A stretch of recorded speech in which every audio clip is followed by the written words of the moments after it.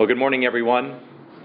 It's good to be with you this morning. Um, I bring you greetings from your brothers and sisters in Christ at Westminster Presbyterian Church just up the road uh, in Bull Creek uh, in Perth. Um, so I'm glad to be here this morning. Um, Shelley and I have enjoyed uh, a few times now uh, this year being here, and uh, it's really been great. Um, and we get a good feed afterward at Simon's house. So I highly recommend the, the restaurant at Simon and Sue's. Uh, you probably have tasted, some of you probably tasted there as well. It's lovely. How would you define success? This question is a bit like the Sunday school uh, teacher who asked her children, What has a long tail and a pouch and it hops around? And one little student in the class, some spiritually minded student, raised their hand and they said, Well, Miss, um, I know the answer is supposed to be Jesus, but it sounds like a kangaroo. See, I know I'm asking a bunch of Christians, uh, a, a preacher asking a bunch of Christians on a Sunday, how would you define success? So I know you feel like maybe you should respond with some spiritually minded answer. But what would you say if you weren't in church? If this was a man on the street interview and somebody came up and asked you, how would you define success? Well, we know people like a, a surgeon is successful when they can perform repeatedly uh, life saving, intricate operations. We know that a musician is a success when they've mastered their instrument and they can perform it well in front of people. We know that a lawyer is a success when they can adeptly assist people from uh, getting into further legal problems or even get them out of legal problems. And since we're really interested in non-churchy answers, we know that all of these people would be success would be a success if they made lots of money doing what they do, right? That's how we would normally kind of think right away about answering that question. Of course, musicians don't make a lot of money, but anyway, all the other ones would make a lot of money. See, now for the challenge for us as biblically minded Christians. How does the Bible define success? Success is not what the health and wealth gospel preachers tell us. It's not about prosperity and just ask and God will give you. You know, have enough faith and God will deliver. That's not success, biblically speaking. In fact, our study in Joseph's life, the study that we're going to do this morning, will show us that that's actually opposite. It's upside down. It overturns all the unbiblical and unspiritual definitions of success.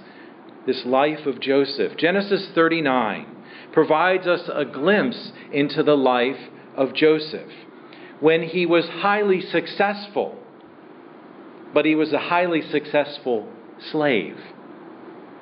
He was highly successful, and then he became a highly successful prisoner. He's going down the wrong way if you're looking at the world's view of success. Joseph's story reveals three things. It reveals the source of success, real, true biblical success, the source of the success. It shows that success is tested as well. And then it also shows us the endurance of success, how success actually continues with us. And we'll see it here first in the source of success. Look at verse 1. This is a bit of an update from a previous chapter was on the life of Judah. So chapter 38 was on the life of Judah and he was a bit of a rotter and did some naughty things. So it's kind of updating us on back to Joseph. Uh, so verse 1 tells us Joseph's situation from the end of chapter 37. Potiphar, the Egyptian, we're told, bought Joseph from the Ishmaelites who brought Joseph into Egypt. In other words, his brothers had sold him into slavery to the Ishmaelites. The Ishmaelites brought Joseph to, to uh, Egypt, and from there, Potiphar buys Joseph as a slave. This means that Joseph has now been taken away from the land of Canaan, from the land of promise. He was being sold into slavery in Egypt. This does not appear to be a very successful move. It's the wrong direction. It's not going into the land, it's coming out of the land. Especially when you consider God's promise to Abraham way back in Genesis 12, where he promises, promises uh, Abraham and his offspring a land, a place. And combined with what we learn in chapter 38 about Judah, and I know we haven't been through it, but Judah was a bad guy. He did some bad things. Um, he did some immoral things. And it seems like the offspring of Abraham, now second and third generation, are now sort of going the wrong way away from the promise of God. Uh, Joseph's been forcibly taken into slavery. And Judah doesn't even care about acting in a godly fashion. They don't seem to care about God's blessing at all.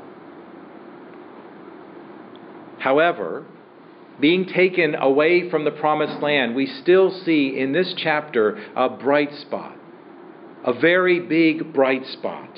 Because the Bible tells us in verse 2, look what he says, that the Lord was with Joseph and he became a successful man. It's a bright spot. Things seem to be going the wrong way, but the Lord is with Joseph. Okay, so how do we know that they're really connected? That the, that the prosperity or the success of Joseph is connected with the Lord's presence? Well, we see it in a couple different ways. First off, verse 2. It pretty much tells us the Lord was with Joseph and he succeeded. So just from the very, you know, English, uh, the grammar here can tell us it's connected. But also look at verse 3. It tells us in another way that it's connected. His master, this is Joseph's master, Potiphar, saw that the Lord was with him, was with Joseph, and that the Lord caused all that he did to succeed in his hands when your pagan master notices the success and the Lord's presence in your life, when the, when the pagan master in Joseph's life sees that his success is related to the presence of the Lord, it's a pretty good indication that that's the, that's the case. It's obvious. Even Potiphar could see that the Lord was with Joseph and he had success. Lastly, we see that Potiphar increasingly trusted Joseph.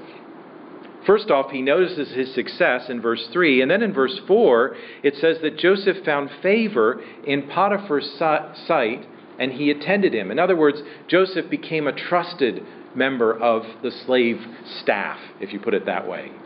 And so he personally attended Potiphar. And then Potiphar puts him in charge of everything. Joseph, you've shown yourself trustworthy. I know you, and I can trust you with the whole household not just with looking after me, but looking after everything. You see, it was the Lord's presence with Joseph that made him successful. Potiphar noticed it, and he favored Joseph, and he trusted Joseph with all he had, with his whole entire household. Okay, so that's a good ind- indication. But also note something else here that's really interesting. Potiphar receives a bonus. He receives a blessing because he favored Joseph. Verse 5 tells us that from the time that he made Joseph the overseer in the house over all that he had, look what it says the Lord blessed the Egyptian's house for Joseph's sake. The blessing of the Lord was on all that he had in house and field. If you have any doubts that the Lord's presence was the key to Joseph's success, I think that should be gone by now. We've shown it in three different ways. Plus, the Lord's presence brought Joseph's success, and the Lord blessed Potiphar and all of his household because Potiphar favored Joseph. Incidentally, that is actually God keeping his promise from way back in Genesis 12 when he promises Abraham. He promises Abraham and his offspring, those who bless you, I will bless. This is God doing this generations later, honoring his word, keeping his promise to bless those that bless the offspring of Abraham. It's all connected. The Lord is faithful. Now, if you do the maths, Joseph was in Potiphar's home for about 10 years. And I'm not going to take you through all the little passages, but just so you know, he's been in the, in the household of Potiphar for about 10 years. And that helps us to understand a bit of Joseph's success. It's clearly tied to the Lord's presence. We've already seen that. But it did not occur overnight. This is a decade that he's in Potiphar's house. When Joseph arrived in Potiphar's house, he had to learn the language. He's not Egyptian, he's Hebrew.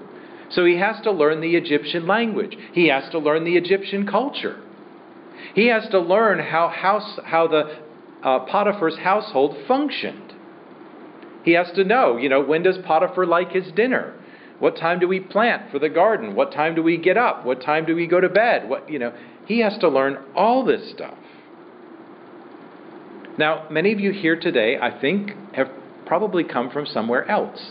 Somewhere in your life, you had to make an adjustment to Australia. You had to learn the culture, maybe not the language. When my family and I came here, we had to learn the language. You know, we speak American, not English apparently, and so when we came here, we have to learn the language. It took a while. See, the Lord's presence with, was with Joseph and he gave him success. But, but Joseph was not spared from hard work. Joseph had to work hard to show himself faithful, to show himself confident, competent, to show himself trustworthy. He had to work hard to get to that level. Joseph remained his slave, remained a slave, yet in his difficult circumstances we see that the Lord was with him and gave him success.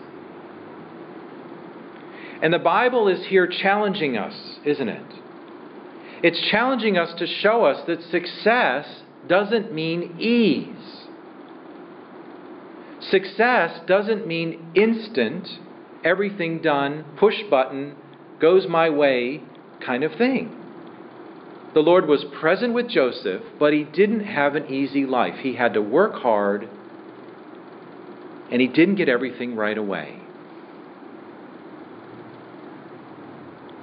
But now we're going to see that Joseph's success was tested. One crucial question as we move into point two How did Joseph react to the Lord's presence and Potiphar's favor? How did Joseph react? Did he take it for granted? Well, no, he did not. That's what we're going to see in this section. Now, this section is the bulk of our passage this morning. It's from 6 to 20, from verse 6 to verse 20.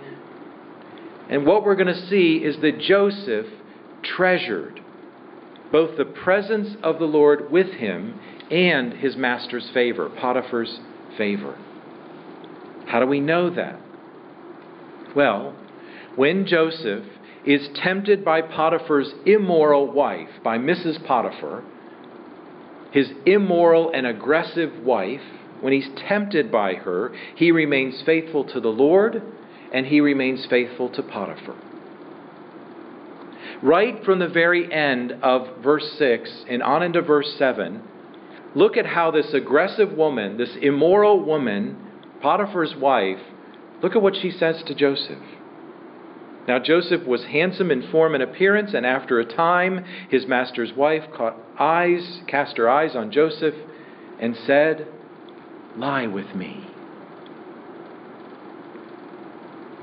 Potiphar's wife lusted after Joseph, and she told him of her evil desire to lie with him. And this is a horrible test. This is a horrible test for someone like Joseph. I mean, he's in his early teens, or maybe his, early, his late teens or early 20s. He's in the prime of life, but he's also at the top of the household. He's in a very high position in the household of Potiphar. Verse 6 told us Potiphar left everything in charge of Joseph. Potiphar only had to concern himself with the food he ate. He just had to, you know, pick up the fork and stick it in his mouth. But Joseph took care of everything else. Now, Joseph could have rationalized, right? He's in this situation, he's facing this temptation. He could have rationalized many reasons to break trust, to be unfaithful. Well, first off, he was young. He has urges. He's a young male. He has urges, right? He's got no family around him. He's got no family to consult with, no mom or dad to look after him. He's got no mom to go, now, Joseph, you do the right thing. You know, he's got no one to, to keep him on the right track. Sorry, mums or grandmoms. And, um, and there's no one to, you know, to push him into being obedient. He's in a new culture. And he could rationalize, well, maybe this is just the way it happens in Egyptian households. You know, the, the, the chief servant gets to sleep with the wife. I mean, he could have rationalized all of this. He could have reasoned that Potiphar has trusted me with everything, so maybe the wife is okay to sleep with her because she's part of the household. See, that would have been a terrible rationalization, would have been the wrong thing to do, but he could have made those rationalizations. Also, just to point out, too, he's got no church family. He's got no family around, no church family around. He doesn't have a prayer group or a Bible study. He doesn't have a lot of things around him that we would sort of count on to keep us on the right track. How did he survive this onslaught? How did this man stand in this time of temptation? Well, first off, look at what he does right away. This is on her first offer to lie with me. That's the first offer. What does he say right away? Verse 8, we're told immediately. He responds this way. Verse 8 Behold, because of me, my master has no concern about anything in the house. He has put everything he has in my charge. He is not greater in this house than I am. And Joseph is not saying, I'm equal with Potiphar. He's saying, I'm in a high position and I know it. I'm a slave in a high position and I understand that. That's what he's saying there. Nor has he kept back anything from me except you. See, Joseph saw himself as Potiphar's servant. He knows he's just a slave. He doesn't think highly of himself, he knows his position and he knew that his master's wife was off limits. Taking another man's wife is wrong, and Joseph knew it. If you know some of the story from previous, Judah did not act properly sexually. It's sort of the contrast to Joseph here, and I'm, I'm just pointing that out so you know. In the context, Judah was horrible, Joseph is admirable. Joseph knows that he is trusted by Potiphar. And he treasures that trust. And so he remains faithful. But that's not all Joseph says, is it? If you look at the rest of verse 9, Joseph knows that the Lord is with him. Joseph knows that Potiphar knows that the Lord is with him. And so Joseph says in verse 9, at the end of verse 9, he says, How then can I do this great wickedness and sin against God? In Joseph's mind, that's all the reason he needs to remain faithful to Potiphar and remain faithful to the Lord. He treasures the source of his success. He knows that it's the Lord's presence with him that's giving him success. And more than any wicked sexual pleasure, any temptation that he's faced, he knows, I want the Lord more than any of that. In addition, he treasures his master's trust, and he knows he's in a position and he's not going to steal the master's wife.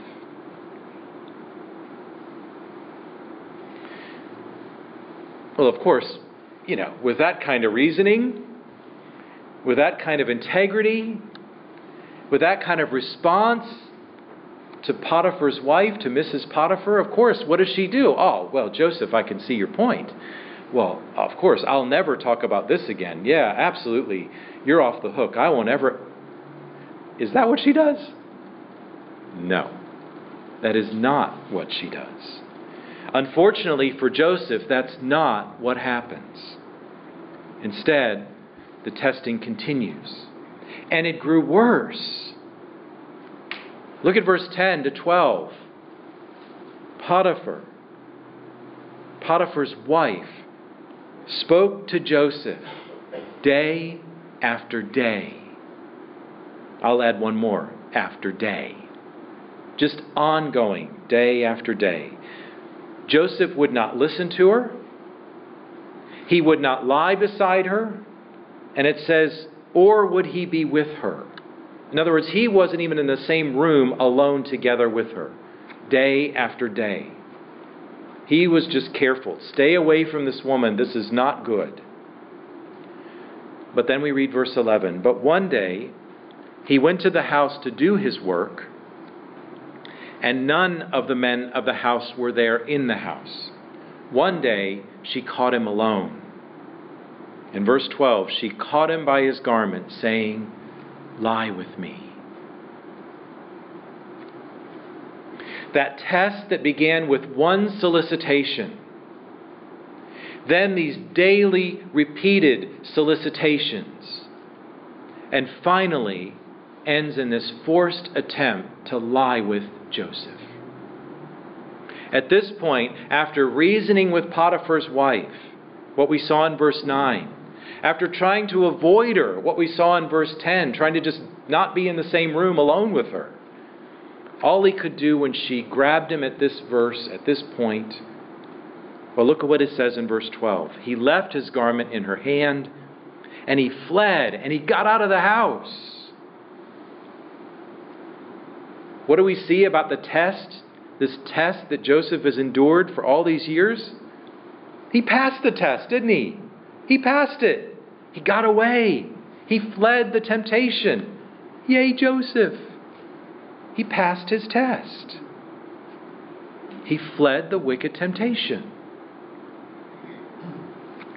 Now, what do we expect when we, when we pass a very difficult exam? When you're in school and you passed a very difficult exam, what do you expect? Over the years, I've watched our three children. They've all gone through their year 11 and 12 WACE exams. You might have seen this with your children or your grandchildren. They get through all these big, huge exams, these big tests, and then they get done. And Shelly and I have noticed when our kids are done with all their exams, there's relief and there's joy. They're all excited. And it's not just for the students, it's for the parents as well. We, we're so relieved, we're so joyful that our children are done with these exams. But that wasn't Joseph's experience after passing the test, was it? There was no relief. There was no celebration. There was no pat on the back for Joseph. Instead, Potiphar's wife lied about Joseph's actions. She slandered Joseph, not just to the household staff, but to Potiphar himself. And when Potiphar hears of this lie, this slander, of course, he doesn't know it's a lie or slander, but as he hears what his wife says, verse 19 tells us his reaction. As soon as his master heard the words that his wife spoke to him, This is the way your servant treated me, she said, his anger was kindled. And Joseph's master took him and put him in prison, the place where the king's prisoners were confined. And there he was in prison. What's Joseph's reward for doing the right thing? Prison prison, prison.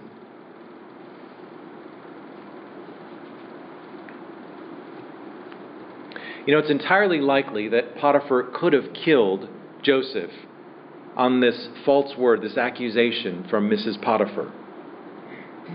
Thankfully, however, her false accusation didn't end Joseph's life. While we're not told exactly why he didn't kill Joseph for this accusation, it may be that Mrs. Potiphar, it was her that sort of lacked a faithful reputation. She might have done this before. And the reason I say that is look at what it says. After Potiphar's wrath was kindled, after he was angry, it doesn't say who he was angry with. It just says his anger was kindled. Now look, this is just just a guess. I think it's a reasonable guess, but you know, it doesn't say exactly. And so it could be that Mrs. Potiphar was somewhat known for this kind of thing which is maybe why Joseph wasn't killed right away for being accused of doing what he was accused of. Anyway, we don't know, but I'm just taking a guess there. Prior to the test, we do know that the Lord was with Joseph. And it was the Lord's presence that caused him to succeed. And then Joseph goes through these awful tests. His life was spared, but now he's in prison. He's an outcast. Have you ever gone through an awful period in your life, a test, maybe maybe the loss of a spouse or maybe the decline of your health or maybe a loved one who's gone through these terrible things and you go through these tests and it just doesn't seem to let up. And it just seems to grow worse. Well, then you can identify with what's going on with Joseph, can't you? the tests go from bad to worse. Things go from high to low and then to lower. and maybe in those times you ask yourself, Lord, are you with me? Am I ever going to know your blessing again? Am I ever going to get there again? Success? Am I ever going to know any kind of success again? Well, praise God as we move into our last point, as Joseph moves into prison, is moved into prison, we get the answer to that question. We get the answer to that question in verse 21 as we look at the endurance of success. How is the success going to endure in Joseph's life? Look at verse 21. But the Lord was with Joseph and showed him steadfast love and gave him favor in the sight of the keeper of the prison. The answer to you and to me in the face of difficulties that keep getting more difficult and the times that just seem like they're endless tests. The answer is that the Lord is still with his people. He's still present with you. Your circumstances may look pitiful, but the Lord is still with you. And that's what Joseph is learning here. The Lord is still with him. And he gives him favor in the sight of this prison guard, this prison keeper. The Lord is still with Joseph. Praise God. In addition, we're told that Joseph was showed the Lord's steadfast love. Now, that's a special word in Hebrew. The word is hesed. It's the, it's the steadfast covenant love of God, it's unending love. The promise of God to be with his people and to love them forever. This isn't just the Lord's favor, the Lord's blessing. This is Hesed, the showering kind of love that the Lord just showers on his people like drowning you in a, in a good way, you know, drowning you in His love. It's just the showers of blessing. God's Word is telling us that the Lord is with Joseph, but not even just with Joseph. He's not just present with Joseph, but God's Word is here indicating us, assuring us, by using this word, Hesed, that this is the absolute best place for Joseph to be for the sake of God's people. Using the word Hesed is giving us a hint that God's plan is greater than just delivering Joseph, this one man, God's plan is when Joseph is in prison and thrown in prison, this is going to be the place where God is going to use this not just for the benefit of Joseph, but for the benefit of all of God's people. This is going to work out for the benefit of all of God's people. The success that Joseph enjoys here in this passage will be for the benefit of all of God's people as God's plan unfolds. It's a great encouragement to you and to me. It's a great encouragement to the people of Joseph's day. They may not have seen it right then, but as they know the story and learn the story, that's what it's indicating. However, for now, we're only going to see in this little section a repeat of what Joseph experienced back in Potiphar's house. Joseph is in prison, but because, because the Lord is present with him, the keeper of the prison favors Joseph. It's a lot like what we saw in Potiphar's house. Potiphar recognized the Lord was with Joseph, and again, we see the favor coming to Joseph. Then look at verse 22 and 23. And the keeper of the prison put Joseph in charge of all the prisoners that were in the prison. Whatever was done there, he was the one who did it. Joseph was left in charge to do it. The keeper of the prison paid no attention to anything except that was except all the uh, to anything that was in Joseph's charge, because the Lord was with him, and whatever the whatever he did, the Lord made it succeed. In other words, it's just sort of ditto from what Potiphar, what happened in Potiphar's house. Early in Joseph's life, then, we learn that he was hated and that he was rejected by his brothers. And they nearly killed him.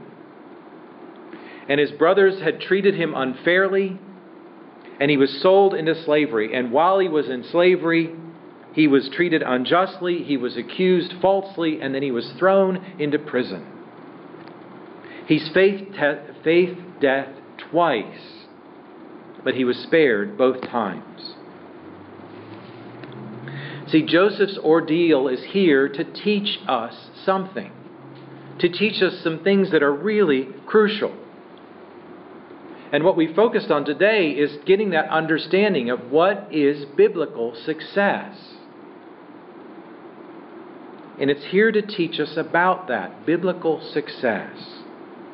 First off, the thing that we've learned already is that Joseph, the Lord was with Joseph through all his hardship.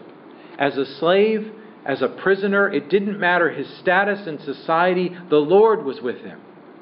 That makes a difference. It's not about the position that you hold, it's about the presence of the Lord being with you. If He's with you, in God's view, you are and you will be successful. In the biblical definition, the Lord's presence is that guarantee. In the Lord's eyes, you are successful. The other thing this is teaching us is that the biblical definition of success is not about being at ease, having life easy, having things going everything your way the nice cushy lifestyle. The world says that's success, but that's not the biblical definition. The Lord made all of Joseph's hard work succeed. He had to work hard to be the head of the household, to run the, run the show, to be the head of the prison, to run the show. It was a lot of work. Biblical definition of success is someone who treasures the Lord's presence with them. And so, what does Joseph do? He ran from temptation, he fled temptation. The world will tell you that enjoy the sinful pleasures, enjoy this world. Life is all about enjoyment. That's not the biblical definition of success. You might have to take some hard choices, flee temptation, run away from those things that tempt us to do evil. The other thing that we've learned is that the Lord spared Joseph's life so that God's steadfast love will not just benefit Joseph, but benefit all of God's people. The biblical definition of success is not an individual making it big. The biblical definition of success will be a blessing to all the people of God. You see, God did not spare his own son. Joseph was spared a couple times. But God sent Jesus and did not spare his own son to deal with our sin, to deal, deal with the unrighteous, the sinner, you and me, who turned against God, who didn't value his presence, who thought it was all about enjoying this life, getting everything for me. In Jesus, God is with his people. Emmanuel, that's what his name means. Emmanuel, God with us. You and I who know Jesus, God is with us. By the world's standards, think about the life of Jesus. By the world's standard, his life wasn't a success. A carpenter? A tradie? A savior who died on a cross? That's not success, is it? Not the world's definition. Jesus' work wasn't prestigious. He endured hardship, injustice, false accusations, treachery, abandonment by his friends. Jesus resisted all temptation, didn't he? He fled all temptation, even from the, the, the, main tempter himself, Satan himself, took on Jesus to try and tempt him to do evil. Jesus resisted all temptation for you and for me. He died on a cross for the benefit of God's people. Not one man trying to save his own skin, but the Son of God who gave himself up for you and for me.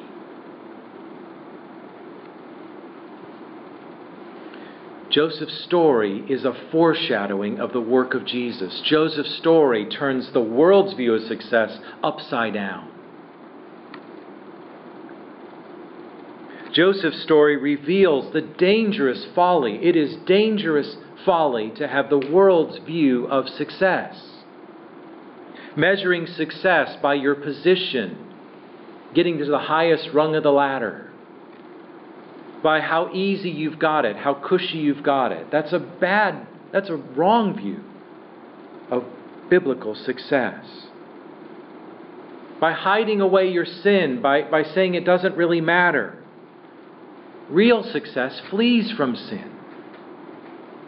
Or by hoarding all of God's goodness just for yourself, just for your benefit, being selfish with your goods, being selfish with your time, being selfish with your hospitality spending it all on you. That's, that's a wrong view of success. It's foolishness. Successful disciples, successful followers of Jesus, what does Jesus tell us? They will take up their cross, they will deny themselves, and they will follow Him. That's the biblical view of success.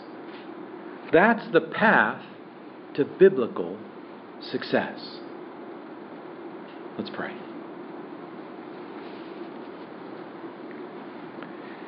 Lord Jesus, we do recognize that what you've taught us in the life of Joseph turns our world upside down. It challenges us, Lord. We are weak. We like cushy. We like things done for us. We like things going our way. But Lord, we also have lived long enough to know that that's not always what happens. Lord, we value your presence with us. Lord, help us to value it more. We long for the presence of Christ, and we know that He has promised His presence with us always. Lord, thank you for sending Jesus. And then, Lord, help us to deal with sin. Help us to be people who not just are blessed, but will bless others. That we look for ways to show and care for those around us and to be a blessing to those around us, to serve those around us. Lord, help us to stand in this evil day for the glory of Jesus, for the praise of his name. In Jesus' name we pray. Amen.